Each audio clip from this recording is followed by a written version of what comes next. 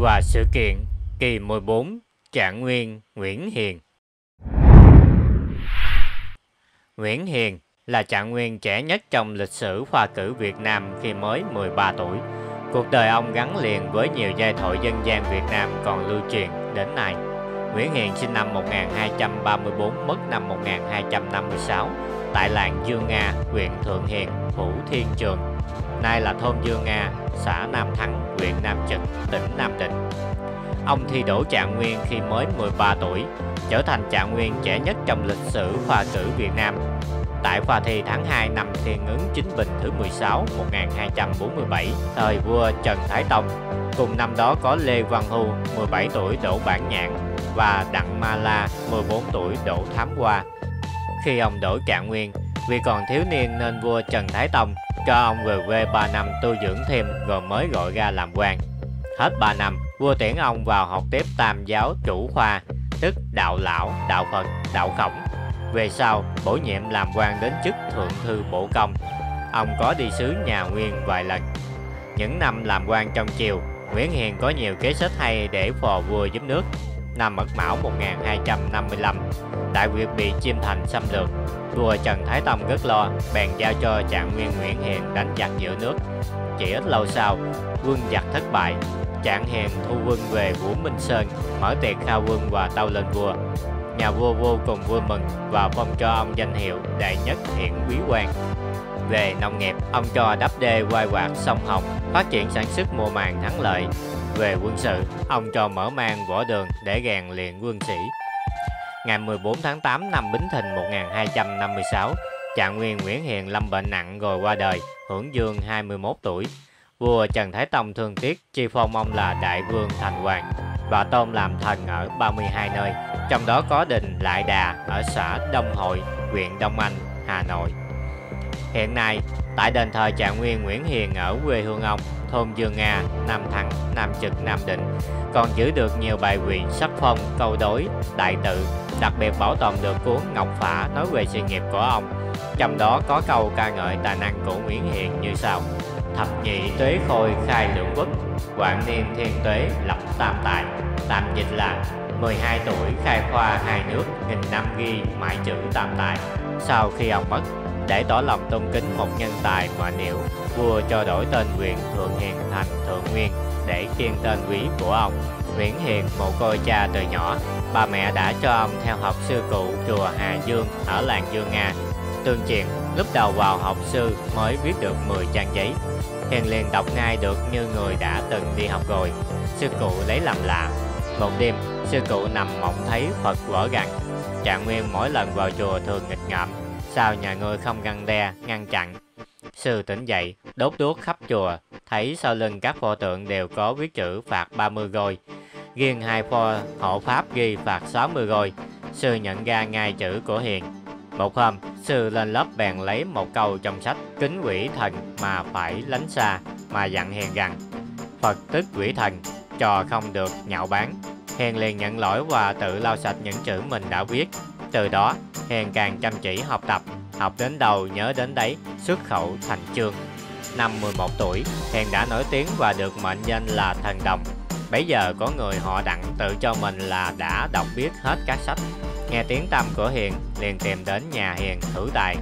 Ra đầu đề bài phú, Phượng Hoàng xào A kỳ lân du Úc và ra hạn cho Hiền số câu. Mỗi câu phải có tiếng chỉ một loài cầm thú, Hiền liền ứng khẩu. Phi lòng kiên chiếu, mã bất xuất hà, ý bì hữu hùng chi thế, ấp bù chát lọc chi à. Dịch là gồng không bay lên nơi ao hồ, ngựa không từ sông phi ra, đẹp thay đời có họ hữu hùng làm nhà ở nơi chát lọc người họ đặng hết sức thắng phục hiền và tấm tắc khen là thiên tài. Đến năm đinh mùi 1247 Nguyễn Hiền giữ kỳ thi đình với bài phú áp tử từ kê mẫu du hồ phú bài phú về vịt con từ giả mẹ gà đi chơi hồ nước vua hỏi hiền trả lời trôi chảy cả văn lẫn ý vua khen ngợi và hỏi học thầy nào nguyễn hiền trả lời Thần không phải là người sinh ra đã biết, nhưng khi có một đôi chữ không biết thì hỏi thầy chùa. Vua lại nói, vì còn nhỏ mà Trạng Nguyên ăn nói chưa biết lễ, cần cho về nhà học lễ 3 năm mới bổ dụng. vì thế Trạng Hiền chưa được ban áo mão. Nguyễn Hiền trở về quê nuôi dưỡng mẹ, ngày ngày đọc sách. Hiền vẫn rất ham chơi, thường lúc gỏi gãi vẫn cùng trẻ làng chơi khăn, thả diều. Một lần, triều đình tiếp sứ Trung Hoa. Viên sứ đưa ra một con ốc sắn, nhờ sâu qua ruột nó bằng một sợi chỉ mảnh. Được như vậy y mới chịu vào thành. Ấy là viên sứ muốn hỏi thử tài người Nam ra sao, vua truyền cho các quan tìm cách sâu thử, nhưng vị nào cũng lè lưỡi lắc đầu. Bây giờ vua chợt nghĩ đến chàng nguyên trẻ Nguyễn Hiền, bèn cho chịu chàng về kinh. Viên quan được giao việc đến quê gặp chàng gặp ngay một lũ trẻ chăn trâu nghìn đất đầu làng. Thấy trong đó có một cậu bé mặt mũi khôi ngô, đang bài cho lũ bạn đắp một con voi bằng đất mà bốn chân lẫn tay voi, có thể ngoe ngoải được. Sứ giả đồ chừng đó là chàng hiền, bèn buông một câu thăm dò. Tự là chữ, cắt dằn đầu, chữ tử là con, con nhà ai đấy. Cậu bé nghe được, không ngước mặt lên, cũng thủng thẳng buông một câu. Vu là chân, bỏ ngang lưng, chữ đinh là đứa, đứa hỏi ta chi. Chủ ý của viên quan sức một vế đối theo lối chiết tự chữ Hán, chữ tự, có hai bộ phận, trên như cái dằn sai, dưới là chữ tử, để nguyên tự, có nghĩa là chữ, bỏ dằn trên còn lại chữ tử nghĩa là con. Và gắn luôn với vế đối nôm tiếp đó thành một câu hỏi nửa hán nửa nôm câu hỏi cũng có sắc thái của người trên hỏi kẻ dưới. Chẳng hiền cũng đối lại bằng cách chiếc tự chữ hán kết hợp với một phần chữ nôm, chữ vu. Là chân có hai nét ngang và một nét móc, bỏ nét ngang, ở giữa thành chữ đinh nghĩa là đứa. Đi với đứa nào, đứa này là một vế đối rất chỉnh và rất sượt sứ biết đó chính là trạng hiền, bèn xuống ngựa truyền lại ý vua vừa trạng về kinh, nhưng trạng hiền không chịu. Viện lẽ rằng, trước vua cho trạng kém lễ buộc về nhưng lần này vua cho vợ trạng lên cũng không giữ đúng lễ.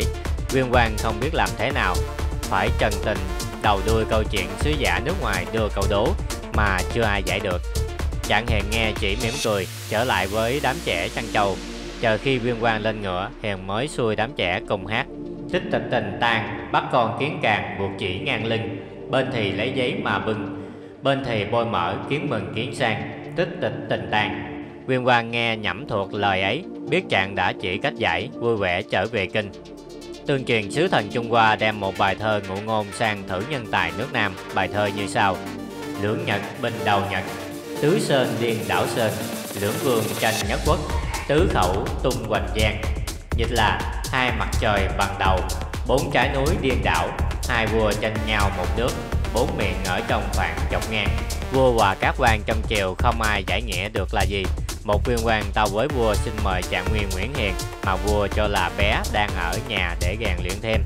Đến để hỏi nghĩa, các quan đến quê mời, gặp lúc nguyễn hiền đang nô đùa với chúng bạn. Nguyễn hiền nói với các quan trước đây vua nói ta chưa biết lễ, thì nay chính vua cũng không biết lễ.